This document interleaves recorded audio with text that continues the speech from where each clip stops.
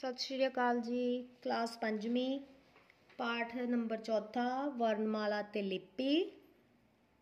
ਅਸੀਂ ਅੱਜ ਇਹ- ਇਸ ਪਾਠ ਬਾਰੇ ਕੁਝ ਜਾਣਕਾਰੀ ਕਰ- ਪ੍ਰਾਪਤ ਕਰਾਂਗੇ ਤੇ ਇਸ ਤੋਂ ਬਾਅਦ ਅਸੀਂ ਇਹਦੀ ਅਭਿਆਸ ਨੂੰ ਵੀ ਦੇਖਾਂਗੇ।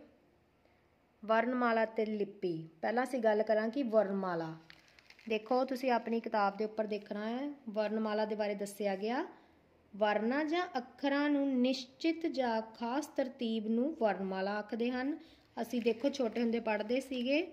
ਹਰ ਭਾਸ਼ਾ ਦੀ ਆਪਣੀ ਆਪਣੀ ਵਰਣਮਾਲਾ ਹੁੰਦੀ ਹੈ। ਪੰਜਾਬੀ ਵਰਣਮਾਲਾ ਦੇ 41 ਅੱਖਰਾਂ ਨੂੰ ਅੱਠ ਟੋਲੀਆਂ ਜਾਂ ਵਰਗਾਂ ਦੇ ਵਿੱਚ ਵੰਡਿਆ ਗਿਆ ਹੈ, ਜੋ ਇੰਜ ਹਨ। ਅਸੀਂ ਆ ਪੜ੍ਹ ਚੁੱਕੇ ਹਾਂ, ਊੜਾ ਐੜਾ ਜਿਹੜਾ ਸਾਡੀ ਸੀਗੀ ਵਰਣਮਾਲਾ।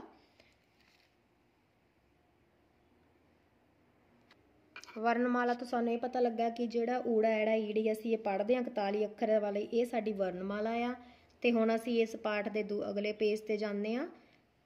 ਲਿਪੀ ਦੀ ਪਰਿਭਾਸ਼ਾ ਦੱਸਣੀ ਆ। ਭਾਸ਼ਾ ਦੀਆਂ ਧੁਨੀਆਂ ਨੂੰ ਲਿਖਤੀ ਰੂਪ ਵਿੱਚ ਪ੍ਰਗਟ ਕਰਨ ਲਈ ਵਰਤੇ ਜਾਣ ਵਾਲੇ ਚਿੰਨਾਂ ਨੂੰ ਲਿਪੀ ਆਖਦੇ ਹਨ। ਤੇ ਸਾਡੀ ਲਿਪੀ ਕਿਹੜੀ ਆ? ਪੰਜਾਬੀ ਦੀ ਗੁਰਮੁਖੀ ਲਿਪੀ। ਤੇ ਇਹਦੇ ਵਿੱਚ ਅਸੀਂ ਕੀ ਕਹਿੰਦੇ ਆ ਕਿ 35 ਅੱਖਰ ਹੋਣ ਕਰਕੇ ਇਸ ਨੂੰ 35 35 ਅੱਖਰੀ ਵੀ ਕਿਹਾ ਜਾਂਦਾ ਆ। ਤੇ ਗੁਰਮੁਖੀ ਲਿਪੀ ਦੇ 41 ਵਰਨ ਹਨ। ਜਿਹਦੇ ਵਿੱਚ ਅਸੀਂ ਕੀ ਕਰਦੇ ਹਾਂ, ਪਹਿਲਾਂ ਇਸ ਵਰਨਾਂ ਦੀ ਗਿਣਤੀ 35 ਸੀ, ਪਰ ਅਰਬੀ ਅਤੇ ਫਾਰਸੀ ਧੁਨੀਆਂ ਨੂੰ ਪ੍ਰਗਟ ਕਰਨ ਲਈ ਪੰਜ ਵਰਨ ਜਿਹੜੇ ਆ ਵਰਨਾਂ ਨੂੰ ਪੈਰ ਵਿੱਚ ਬਿੰਦੀ ਪਾਈ ਗਈ। ਇਹਨਾਂ ਦੀ ਅਸੀਂ ਵਰਤੋਂ ਕਰਨ ਲੱਗ ਪਏ, ਜਿੱਦਾਂ ਸੱਸੇ ਪੈਰ ਬਿੰਦੀ ਸਾ ਬੋਲੇ, ਖੱਖੇ ਪੈਰ ਬਿੰਦੀ ਖਾ ਬੋਲੇ, ਗੱਗੇ ਪੈਰ ਬਿੰਦੀ ਗਾ ਬੋਲੇ, ਜੱਜੇ ਪੈਰ ਬਿੰਦੀ ਜਾ ਬੋਲੇ। ਇਹ ਜਿਹੜੇ ਫੱਫੇ ਪੈਰ ਬਿੰਦੀ ਫਾ ਆ ਦੇਖੋ, ਇਹ ਸੱਸੇ ਦੇ ਪੈਰ 'ਚ, ਖੱਖੇ ਦੇ ਪੈਰ 'ਚ, ਗੱਗੇ ਦੇ ਪੈਰ 'ਚ, ਜੱਜੇ ਦੇ ਪੈਰ 'ਚ ਬਿੰਦੀ ਆ, ਫੱਫੇ ਦੇ ਪੈਰ 'ਚ ਬਿੰਦੀ ਆ। ਇਹਦੇ ਨਾਲ ਸਾਡੇ ਕਿੰਨੇ ਅੱਖਰ ਬਣੇ? 41 ਤਾਂ ਅੱਗੇ ਅਸੀਂ ਹੁਣ ਇਹਦਾ ਕਰਦੇ ਹਾਂ ਅਭਿਆਸ। ਤੁਸੀਂ ਦੇਖੋ, ਊੜਾ ਪਾਠ ਇਹਦਾ। ਹੇਠਲੇ ਪ੍ਰਸ਼ਨਾਂ ਦੇ ਉੱਤਰ ਦਿਓ। ਪਹਿਲਾਂ ਅਸੀਂ ਕਹਿੰਦੇ ਵਰਣਮਾਲਾ ਤੋਂ ਕੀ ਭਾਵ ਹੈ? ਪੰਜਾਬੀ ਵਰਣਮਾਲਾ ਦੇ ਕੁੱਲ ਕਿੰਨੇ ਵਰਨ ਹਨ? ਤੁਸੀਂ ਪੇਜ ਨੰਬਰ 15 ਤੇ ਆਓ। ਪਹਿਲੇ ਪ੍ਰਸ਼ਨ ਦਾ ਉੱਤਰ ਦੇਖ ਲਓ। ਵਰਨ ਬਾਰੇ ਦੱਸਣਾ ਸੀ ਵਰਣਮਾਲਾ ਦੱਸਣਾ। ਵਰਨਾਂ ਜਾਂ ਅੱਖਰਾਂ ਦੀ ਨਿਸ਼ਚਿਤ ਜਾਂ ਖਾਸ ਤਰਤੀਬ ਨੂੰ ਵਰਣਮਾਲਾ ਆਖਦੇ ਹਨ। ਤੁਸੀਂ ਲਿਖ ਸਕਦੇ, ਇੱਥੋਂ ਵੀ ਲਿਖ ਸਕਦੇ ਆ ਅੱਖਰਾਂ ਦੀ ਨਿਸ਼ਚਿਤ ਤਰਤੀਬ ਨੂੰ ਵਰਣਮਾਲਾ ਆਖਦੇ ਹਨ। ਜਾਂ ਲਿਖ ਦਿਓ ਅੱਖਰਾਂ ਵਰਨਾਂ ਜਾਂ ਜਾਂ ਅਸੀਂ ਵਰਨਾਂ ਜਾਂ ਅੱਖਰਾਂ ਦੀ ਨਿਸ਼ਚਿਤ ਤਰਤੀਬ ਨੂੰ ਵਰਣਮਾਲਾ ਆਖਦੇ ਹਨ।